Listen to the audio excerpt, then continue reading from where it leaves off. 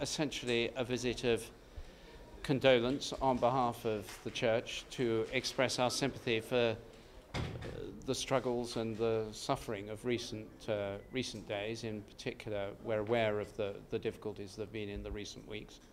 Um, I was particularly, because I know Jos very well, I was personally deeply saddened by the bombings in Jos and uh, so I wanted to come and uh, pray with His Excellency and uh, express our condolence for the losses that had been.